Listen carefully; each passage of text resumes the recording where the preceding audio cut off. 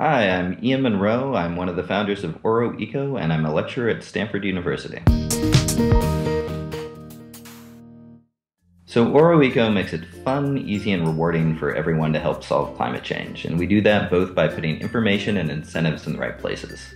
We start by automatically tracking your carbon footprint based on how you're living your life, and then we give you a bunch of personalized tips for how you can improve your impacts and save money at the same time. What we're doing with Oroeco is basically taking your impacts on climate change and turning that into a social game. So we're not just showing you information about your impacts, which is certainly an important starting point, but we're also giving you a whole bunch of points and prizes and real world rewards that you can earn, like Nest Smart thermostats, and hopefully soon we'll be giving away Tesla electric vehicles. The master plan for Oroeco is really to empower us all to vote with our wallets and practice what we preach then scale our individual actions into societal change by combining advanced information technology with sound science and behavioral psychology about what are the fundamental desires that really motivate us as individuals to change and how can we ripple our personal actions up throughout our community to create this virtuous cycle where we're all working as individuals to improve